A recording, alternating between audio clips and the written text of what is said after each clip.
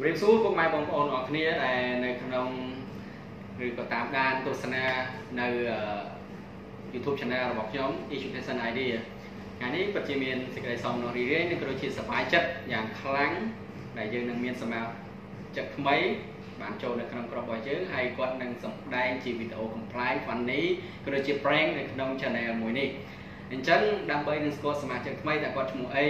ហើយគាត់មានចំណាប់អារម្មណ៍យ៉ាងណាសូមជួបគាត់ទាំងអស់គ្នាវាសួរបងបាទវាសួរបាទខ្ញុំឈ្មោះនេះបងឈ្មោះនេះបាទបងសប្បាយចិត្តអត់បើសិនជាថាយើងបានមកអឺសហការគ្នាលេងកំ pl ាញជីវីដេអូហើយសំណក់ផ្ដល់សំណោចដល់បងប្អូនបាទសប្បាយអត់សប្បាយចិត្តបងសប្បាយចិត្តចូលចិត្តណាស់រឿងកំ pl ាញហើយក៏បងចង់បងប្អូនចង់ស្ដាប់ចាំមើលកំ pl ាញរបស់ខ្ញុំដឹងហើយបងបាទដឹងផ្ទាល់ថាឥឡូវខ្ញុំទំដបងទំទេទំសាក់មើលទេ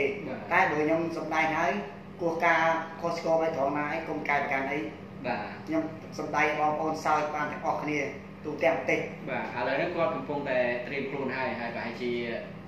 បាទទៅទៀតហ្នឹងយើងនឹងមានពេលអឺថតហើយនឹងផុសជូនបងប្អូនទស្សនាទាំងអស់គ្នាអញ្ចឹងបងបានត្រៀមខ្លួនហើយបងណាបាទបាទត្រឹមត្រឹមខ្លួនហើយបាទអញ្ចឹងក៏អរគុណគាត់ខ្លាំងដែរហើយអឺអាចជាចប់ជុំហើយយើងនឹងមានវីដេអូជាបន្តបន្តហើយ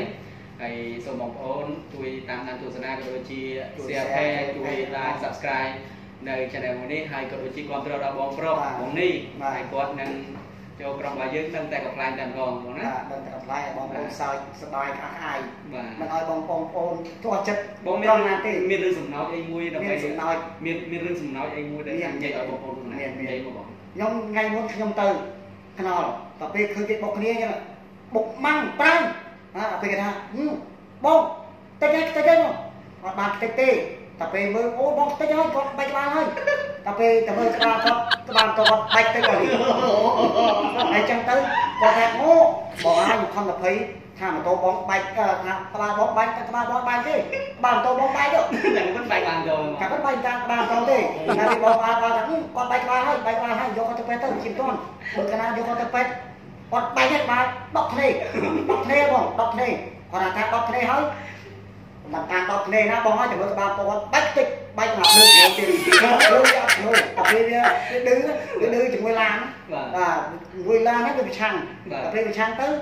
ឡានហើយទៅម៉ូតូទៅឡានគេអីគេរួចម៉ូតូរួចបាទម៉ូតូរួចហើយតែពេលបងប្អូនថាហឹមគាត់បែកមែនបែកម៉ូតូទេតែគាត់ដើរធម្មតាបាទបាទថ្ងៃ នេះជាសម្រាប់សម្រាប់